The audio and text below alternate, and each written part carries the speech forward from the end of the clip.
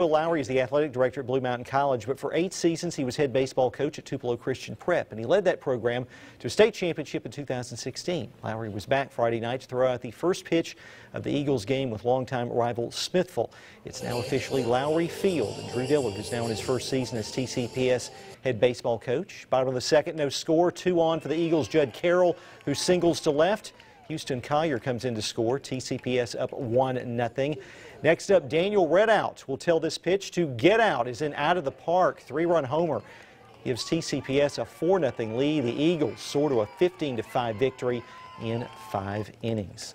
More high school baseball. Oxford at Tupelo. This one was intense. Top of the seventh. Golden Wave up 5-3. One out. Oxford's Eli Wicker.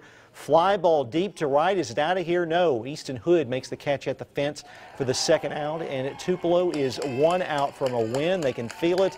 A base hit would bring the tying run to the plate, but Bo Jagger strikes out John Harvey to end it. Old Wave win it by the final of 5 to 3. Second round of the LP